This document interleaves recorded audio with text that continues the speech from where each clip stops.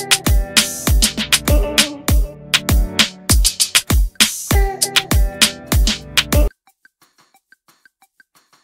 มไม่ยอมแน่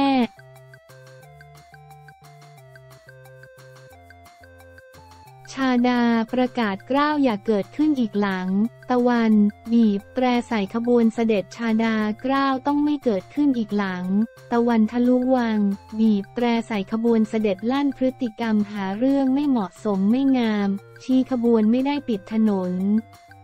มีทางให้ไปแต่ไม่ไปเตือนอยู่ระหว่างรอลงอาญาระวังติดคุก เมื่อวันที่ 8 กุมภาพันธ์ 2567 ที่รัฐสภานายชาดาไทย เศษรัฐมนตรีช่วยว่าการกระทรวงมหาดไทยกล่าวถึงกรณีตะวันหนึ่งในแกนนำกลุ่มทะลุวังบีบแตรใส่ขบวนเสด็จว่า เจ้าหน้าที่ตำรวจคงอยากดำเนินการแต่ไม่กล้า เกรงจะเป็นการระคายเคืองสถาบัน แต่พฤติกรรมของเด็กแบบนี้ไม่ถูกต้อง ถ้ามีอีกตนไม่ยอมตนไม่เอาไว้ อย่าลืมว่าตอนนี้คุณอยู่ระหว่างรอลงอาญา ถ้ามีอะไรขึ้นมา คุณจะติดคุกและข้อเท็จจริงขบวน เขาก็หลบให้ไม่ได้ปิดทั้งถนนตามภาพที่เห็นจากสื่อมวลชน ขบวนก็อยู่ริมจะไปอีกทางก็ได้ แต่นี่คือหาเรื่องนายชาดากล่าวว่าตนถือว่าเป็นพฤติกรรมหาเรื่อง เป็นคนที่เนรคุณต่อแผ่นดินอย่าคิดว่าเป็นเรื่องหล่อเรื่องเก่ง มันเป็นเรื่องที่ไประคายเคืองสถาบันหลักของประเทศ เขามีทางให้ไป แต่ไม่ไปเองเป็นพฤติกรรมก่อกวนและตั้งใจไม่ใช่ขบวนเสด็จจะไปขวางเขาซะเมื่อไหร่ ตามรูปที่ดูจากคลิปก็หลบอยู่ทางฝั่งขวาทางซ้ายไปได้ แต่นี่คือพฤติกรรมหาเรื่องเป็นสิ่งที่ไม่งามไม่เหมาะสมอย่างยิ่งในฐานะคนไทยคนหนึ่ง หรือคุณทำเรื่องไม่ถูกต้องเท่ากับคุณไปด่าพ่อด่าแม่ตัวเองพฤติกรรมแบบนี้ใช้ไม่ได้ ผมคงไม่ปล่อยให้เกิดขึ้นอีกไม่ยอมแล้วมีปัญหาแน่ไม่ยอมให้เรื่องแบบนี้เกิดขึ้นกับผืนแผ่นดินไทยแน่นอน นายชาดากล่าว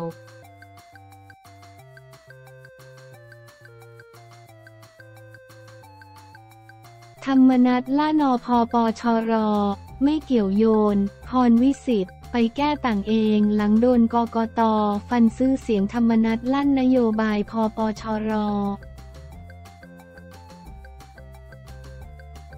ไม่มีให้ใครซื้อเสียงหลังผู้สมัครสอสอนครสวรรค์โดนใบดำใบแดงชี้เป็นความผิดส่วนบุคคลไปแก้ต่างเองจ่อหารือกกบหหาแนวทางแก้ไขเมื่อเวลา 12 นาฬิกา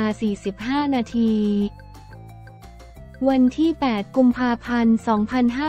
2567 ที่รัฐสภารออธรรมนัฐพรมเผ่ารัฐมนตรีว่าการกระทรวงเกษตรและสหกรณ์ในฐานะเลขาธิการพักพลังประชารัฐ พปชร ให้สัมภาษณ์ถึงคณะกรรมการการเลือกตั้ง กกต ให้ใบดำใบแดงกับนายพรวิสิทธิ์แจ่มใส ผู้สมัครสอสอนครสวรรค์ เขต 5 พักพลังประชารัฐกรณีซื้อเสียงเลือกตั้งว่าตนเพิ่งได้รับข้อมูลจากสื่อมวลชน ซึ่งข้อเท็จจริงเป็นอย่างไร ตนไม่สามารถจะเอ่ยได้แต่ไม่ใช่นโยบายของพักพลังประชารัฐ เป็นความผิดส่วนบุคคลเมื่อเป็นความผิดส่วนบุคคลอดีตผู้สมัครก็ต้องไปแก้ต่างด้วยตัวเองพักเราไม่มีนโยบายสนับสนุนผู้สมัครในการกระทำละเมิดกฎหมายกกตอยู่แล้วอ่านข่าวที่นี่ เด็กลุงป้องโดนแล้วกกตฟันอาญาตัดสิทธิ์พรวิสิทธิ์ผู้สมัครสสพปชร ซื้อเสียงเมื่อถามว่าพักจะตั้งคณะกรรมการขึ้นมาตรวจสอบ ควบคู่กับกกตหรือไม่เนื่องจากอดีตผู้สมัครดังกล่าว ยังเป็นสมาชิกพักอยู่รออธรรมนัตกล่าวว่า เรื่องนี้ตนจะนำไปหารือกับคณะกรรมการบริหารพักกกบหว่าจะมีมาตรการและการแก้ไขปัญหาอย่างไร ส่วนที่พลเอกประวิตยวงสุวรรณ สสบัญชีรายชื่อ และหัวหน้าพักระบุ จะปรับภาพลักษณ์ของพักใหม่ เป็นอนุรักษ์นิยมที่ทันสมัยรออธรรมนัตกล่าวว่าการประชุมพักเมื่อวันที่ 6 กุมภาพันธ์ที่ผ่านมาตนติดภารกิจประชุมคณะรัฐมนตรีและการประชุมกับกลุ่มพีมูฟจึงไม่ได้เข้าร่วมด้วย แต่ทราบจากสื่อว่าจะมียุทธศาสตร์ใหม่ทำพักให้เป็นอนุรักษ์นิยมที่ทันสมัย ซึ่งเรื่องนี้ กกบหจะมีการประชุมกันอีกครั้ง ซึ่งเป็นแนวทางที่คณะกรรมการยุทธศาสตร์ได้นำเสนอ เมื่อถามว่าการปรับภาพลักษณ์เพื่อเตรียมพร้อมในการเลือกตั้งครั้งหน้า หรือต้องการให้ประชาชนจดจำพักได้ เลขาธิการพัก กล่าวว่าเป็นเรื่องปกติของพักการเมืองที่จะต้องรักษาสถานะ ซึ่งพักพลังประชารัฐก็ถือว่าเป็นพักที่มีสอสอมาก พอสมควร 40 คนโดย 39 คนเป็นสอสอเขตตนกล้าการันตีว่าแต่ละท่านมีคุณภาพ มีการลงพื้นที่อย่างต่อเนื่องขณะเดียวกันการตั้งกระทู้ถามในสภาก็เป็นเรื่องสำคัญสำหรับสอสอ แต่ยุทธศาสตร์ของพักในภาพรวมเราก็ต้องทำด้วย เป็นเรื่องปกติ ทุกพักก็ทำเหมือนกันหมด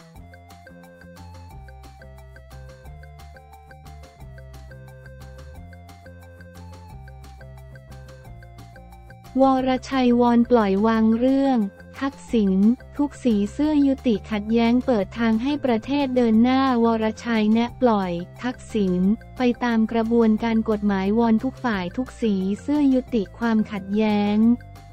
เลิกหาเรื่องโจมตีกัน เปิดทางประเทศเดินไปข้างหน้าเมื่อวันที่ 8 กุมภาพันธ์ 2567 นายวรชัย เหมะที่ปรึกษาของรองนายกรัฐมนตรีให้สัมภาษณ์ถึงกระแสวิจารณ์นายทักษิณชินวัตร อดีตนายกรัฐมนตรีจะได้รับการพักโทษช่วงกลางเดือนนก พอ ว่า กว่า 20 ปี ที่ประเทศไทยเสียหายมามาก ประชาชนลำบากเศรษฐกิจย่ำแย่ เครื่องยนต์เศรษฐกิจทุกตัวดับหมด สาเหตุมาจากความขัดแย้งของคนในประเทศ ซึ่งนายทักษิณเป็นเหยื่อของความขัดแย้งดังกล่าวอย่างหนัก วันนี้อดีตนายกรัฐมนตรี ได้เข้าสู่กระบวนการยุติธรรมแล้ว แต่ปรากฏว่าความอาฆาตยังไม่หมดไป ยังคงมีการโจมตีต่อเนื่องส่งผลกระทบกับการพัฒนาและเดินหน้าประเทศ เราควรยุติความขัดแย้งทุกด้านเพื่อเปิดทางให้ประเทศได้เดินหน้าต่อได้แล้วนายวรชัยกล่าวว่าความขัดแย้งควรหยุดได้แล้ว เพราะเครื่องยนต์เศรษฐกิจเดียวที่ยังเดินหน้าได้อยู่ คือเรื่องการท่องเที่ยววันนี้นักท่องเที่ยวทยอยเดินทางเข้าประเทศอย่างคึกคัก เพราะเราได้รัฐบาลใหม่ที่มาจากการเลือกตั้ง ดังนั้นคนไทยทุกคนต้องช่วยกันทำให้ประเทศพร้อมต้อนรับนักท่องเที่ยว สร้างบรรยากาศเชิญชวนให้นักท่องเที่ยวเดินทางเข้ามาเที่ยวไทย จับจ่ายใช้สอยสนับสนุนกิจการและธุรกิจของคนไทย นายวรชัยกล่าวอีกว่าในสถานการณ์ที่ประเทศกำลังวิกฤตด้านเศรษฐกิจ เราควรยุติความขัดแย้งต่างๆ เอาไว้ก่อนให้ประเทศได้เดินไปข้างหน้าบ้าง ขอร้องพี่น้องทุกสีเสื้อลดความขัดแย้ง เลิกหาเรื่องมาโจมตีกันอะไรอยู่ในกระบวนการก็ปล่อยให้เป็นไปตามกฎหมาย ช่วยกันลดบรรยากาศที่จะนำไปสู่การสร้างความขัดแย้งเพิ่มเติมอย่างไม่มีที่สิ้นสุด ถึงเวลาที่เราต้องช่วยกันสร้างรอยยิ้มความรักความผูกพันให้กันและกัน มันจะทำให้ประเทศไทยของเราที่มีของดีอยู่แล้ว ดึงดูดให้นักท่องเที่ยวเดินทางเข้ามามากขึ้น เมื่อเครื่องยนต์เศรษฐกิจเดินหน้าไปได้ดี